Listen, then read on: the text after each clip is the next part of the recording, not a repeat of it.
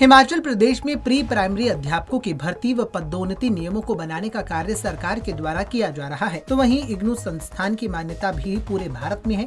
एक साल का डिप्लोमा भी NCTE से मान्यता प्राप्त है और हिमाचल सरकार इससे इनकार नहीं कर सकती। लेकिन NCTE के नियमों का हवाला देकर हिमाचल सरकार द्वारा बनाए जा रहे भर्ती व पदोन्नति नियमों में कुछ बातों का ध्यान नहीं रखा जा रहा है। इन्हीं मुद्दों को लेकर इग्नू डीईसीई डिप्लोमा धारकों ने सीपीएस सुंदर ठाकुर से मुलाकात की और सीपीएस के माध्यम से सरकार को ज्ञापन भी भेजा। डिप्लोमा धारकों का कहना है कि एनसीटीई के नियमों का हवाला देकर सरकार के द्वारा जो नियम बनाए जा रहे हैं, उसमें दो साल का डीईसीई डिप्लोमा या एनटीटी डिप्लोमा शामिल है। लेकिन कोई भी बोर्ड या यूनिवर्सिटी दो साल का डीईसीई डिप्लोमा या एनटीटी डिप्लोमा नहीं करवा रही है, जिसकी वजह से किसी भी पात्र अभ्यर्थी की पात्रता इन पदों के लिए पूरी नहीं हो पा रही है। उनका कहना है कि प्राइमरी स्कूलों के लिए सबसे उपयुक्त डीईसीई डिप्लोमा धारक वो एनटीटी ही है, क्योंकि ये दोनों ही प्री प्राइमरी स्कूलों के लिए बच्चों को बखूबी पढ़ा सकते हैं। ऐसे में प्रदेश सरकार से उन्होंने मांग की है कि एक साल वाले डिप्लोमा धारकों को भी भर्ती और पदोन्नति नियमों में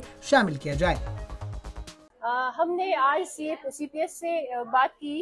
एप्लीकेशन दिया कि सर जो है हमें जो है इस डीईसी e के बारे में आप आगे हमारी बातें रखें हमारे हक में आगे बात करें।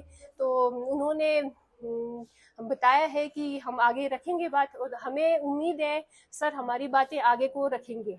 हमें पूर्ण विश्वास है कि सर जो है हमारी बातें आगे सरकार पे रखेगी सरकार के ऊपर रखेगी और वो जो है हमारे हक में बात करेंगे। हमारे लिए पॉलिसी बनाई जाएगी और जितने भी हमारे जो बेरोजगार हैं उनको जो है नौकरी मिलेगी। और मैं चाहती हूँ कि जैसे गवर्नमेंट ने अभी टू ईयर का इसमें क्राइटेरिया रखा हुआ है, हम चाहते हैं कि जो वन ईयर का डीईसी कोर्स करवा रही है, इग्नू करवा रही है, उसको भी इसमें शामिल करें। अदर अदरवाइज़ अगर मतलब दो साल एक साल का डिप्लोमा वैलिड ही नहीं है तो हमें ये कोर्स क्यों करवाया जा रहा है?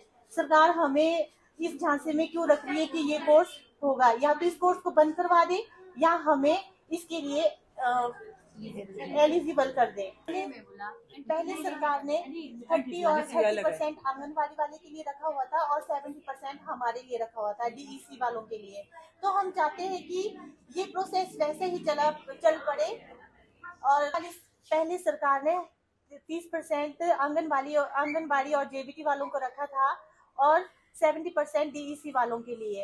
तो हम चाहते हैं कि इस साल भी यही क्राइटेरिया रखा जाए ताकि हम लोगों को नौकरी मिल सके।